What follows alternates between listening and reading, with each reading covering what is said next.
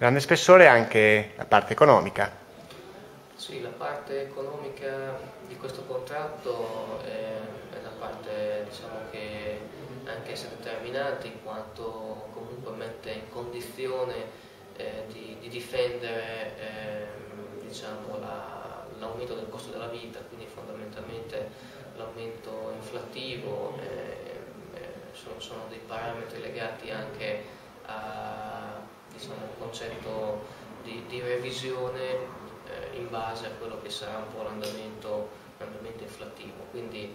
eh, da un certo punto di vista eh, diciamo, abbiamo cercato di cogliere l'esigenza delle imprese di avere comunque un, un contratto che non fosse eh, troppo pesante, soprattutto in un momento in cui vanno, vanno eh, diciamo, date eh, gli arretrati, fondamentalmente dei tre anni e mezzo di vacanza contrattuale, eh, sia diciamo, c'è anche un sistema premiante che comunque eh, va ad aggiustare questo, questo, incremento in funzione della produttività. Ehm, da dire che comunque questo contratto eh, oggi viene firmato, ma ehm, è un contratto che è stato portato avanti comunque nei tre anni precedenti della passata presidenza. Eh, oggi diciamo che si va a cogliere un po' la chiusura avendo aggiustato alcuni dettagli,